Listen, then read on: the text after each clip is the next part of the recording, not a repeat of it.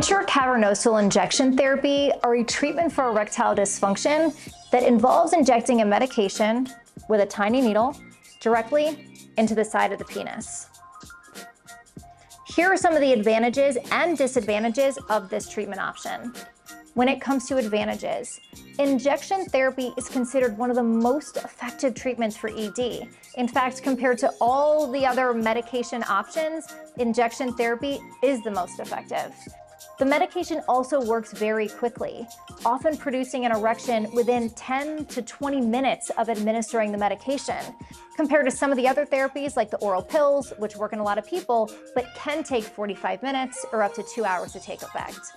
The dosage of this medication can also be customized to each person, which can result in a more personalized treatment experience.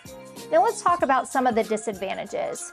I know that injection therapy may not be appetizing to all men, and we get that. Inserting a needle into the penis can be a bit off-putting. It can also be uncomfortable or painful for some people. Side effects may include pain, bleeding, scarring, and a painful prolonged erection.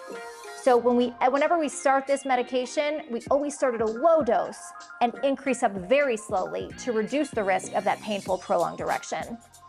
The other factor to keep in mind is that compared to some of the other traditional therapies, injection medication can be on the higher side when it comes to cost. That's where working with a good pharmacy who provides great education on the appropriate ways to use these medications can help you not only optimize your results, how you tolerate the medication, but also help you afford the medication.